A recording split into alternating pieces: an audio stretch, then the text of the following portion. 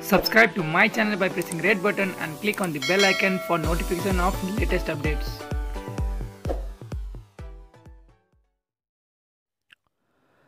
टिप्परको ठक्करबाट दुईजनाको मृत्यु भएपछि काभ्रेको पनौती तनावग्रस्त बनेको छ। आक्रोशित भिड र प्रहरीबीच झडप भएको छ। त्यस क्रममा गोली चल्दा एकजना प्रहरी हवलदार घाइते भएका छन्। प्रदर्शनकारीतर्फ तिनजना घाइते भएका छन्। घाइते हुनेमा नाम खुलाइएको छैन।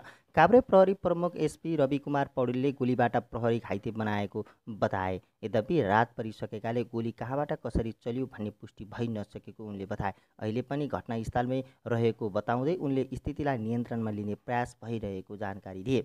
प्रहरीले भने अश्रु ग्यास मात्र प्रहार गरेको उनको भनाइ छ। यसअघि सोमबार अपरान्न पनौतीको मानेश्वरी बस पार्कमा बा पाँच ख चौन्न असी नम्बरको टिप्परले ठक्कर दिँदा जनिमाया गोले र उनकी छोरी स्मारिका गम्भीर घाइते भएका छन्। उनीहरूको शिर मेमोरी अस्पतालमा उपचारका क्रममा मृत्यु भएको बानेपाका प्रहरी निरीक्षक योगेन्द्र तिमिल सिन्हाले जानकारी दिए। जसका कारण बनेपामा लगातार झडप हुने क्रम जारी छ।